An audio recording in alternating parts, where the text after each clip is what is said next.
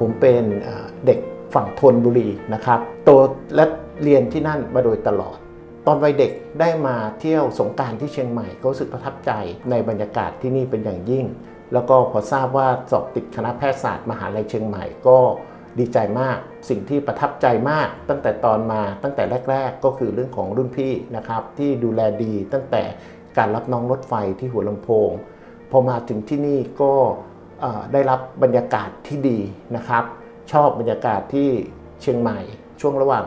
เรียนปี 2 ถึงปี 6 นะครับ ก็ได้มาเรียนที่ฝั่งสวนดอก ก็ได้อยู่หอของคณะแพทย์ ต้องขอบคุณอาจารย์มากนะครับ ที่อาจารย์ไม่เพียงแต่สอน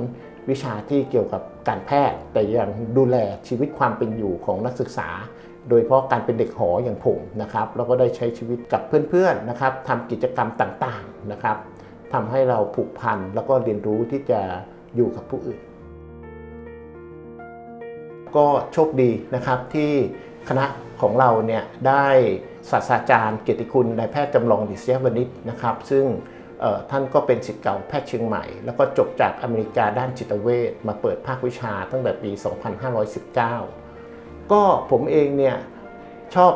จิตเวชเนี่ยตั้งแต่ ตอนปี 2 แล้วนะครับ อาจารย์จำลองเนี่ยได้ได้เปิดวิชาพฤติกรรมศาสตร์ ให้นักศึกษาแพทย์ได้เรียนตั้งแต่ปี 1 เลยนะครับ พอเริ่มปี 2 ผมก็รู้สึกชอบ จนกระทั่งมาถึงเเรียนในชั้นคลินิก ก็ได้เรียนทางจิตเวชก็รู้สึกว่าเรื่องจิตเวชเนี่ยมันเป็นเรื่องที่ซับซ้อนนะครับ แล้วก็มีอะไรที่ยังไม่รู้อีกมากนะครับ ก็น่าจะเป็นโอกาสอันดีที่เราเนี่ยได้เข้าไปศึกษา แล้วก็ดูว่าเอ๊ะเราจะทำอะไรให้มันดีขึ้นกว่านี้ พอผมจบในปี 2531 นะครับ จบจากการเป็นนักศึกษาแพทย์ก็ได้เข้าเรียนต่อเป็นแพทย์ใช้ทุนนะครับจนกระทั่งหลังสอบบอร์ดเสร็จก็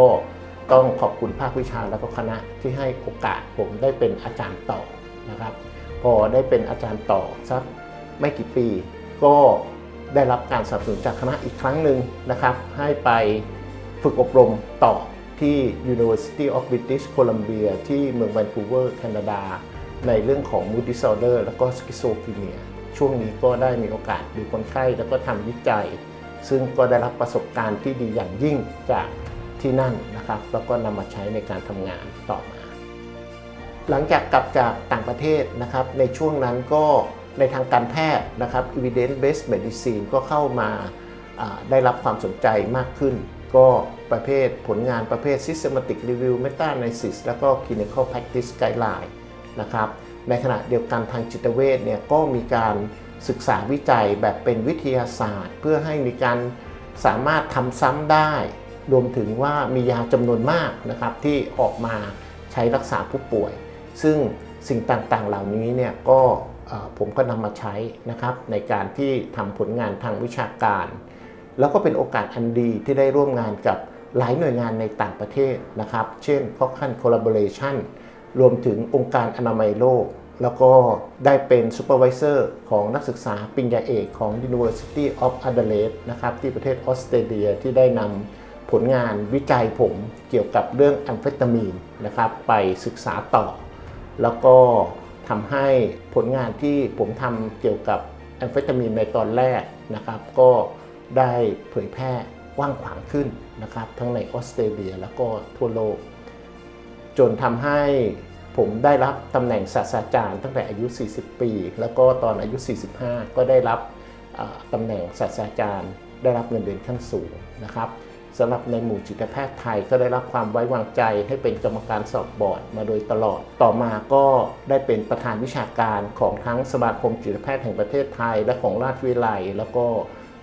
ในขณะนี้ก็ได้เป็นประธานราชวิทยาลัยจิตแพทย์แห่งประเทศไทยครับการทำงานกับ Cochrane Collaboration ในช่วงแรกเนี่ยก็ทำให้ผมได้รับรางวัล Kenneth Warren Prize นะครับในปี 2001 นะครับซึ่งเป็นรางวัลที่ให้กับผู้รีวิวจากประเทศกำลังพัฒนาที่มีผลงานดี แล้วก็เป็นงานที่ใช้แก้ปัญหาสุขภาพของประเทศกำลังพัฒนา หลังจากได้รับรางวัลนนี้ผมก็ได้รับเกียรติให้เป็นกรรมการคัดเลือกผู้ได้รับรางวัลอีก 4 ปี ในปีสุดท้ายผมก็ทำหน้าที่เป็นประธานคัดเลือกรางวัลนนี้นะครับ เกี่ยวกับงานของผมก็คือโดยเฉพาะแบบสอบถามเกี่ยวกับอาการถอนแอมเฟตามีน ซึ่งระบาดในประเทศไทยมากในช่วงในยุคแรกนะครับ ตั้งแต่ปี 2540 ก็หลังจากผมได้ศึกษาแล้วก็ถูกนำไปศึกษาต่อ จนทำให้หลาย ๆ ประเทศทั่วโลกนำไปใช้ แล้วก็ถูกนำไปแปลเป็นหลาย ๆ ภาษา แล้วก็ถูกนำไปใช้ในการวิจัยหลาย ๆ ชิ้นมากมายนะครับ ก็ นอกจากนี้ผลงานอื่นๆ ก็ถูกนำไปอ้างอิงนะครับใน clinical practice guideline หลาย ๆ อย่างทั่วโลกครับจริง ๆ แล้วสิ่งที่ผมทำไปเนี่ยนะครับก็มาจากการตั้งคำถามว่าสิ่งเหล่านี้มันดีพอหรือยังนะครับ ถ้ายังไม่ดีพอเราก็มีวิธีอะไรไหมที่จะทำให้มันดีพอแล้วก็ลงไปลองทำนะครับ ยกตัวอย่างเช่นแบบสอบถามในขณะที่ ตอนแรกที่ผมวิจัยเนี่ยก็ทราบดีว่าเอ้มัน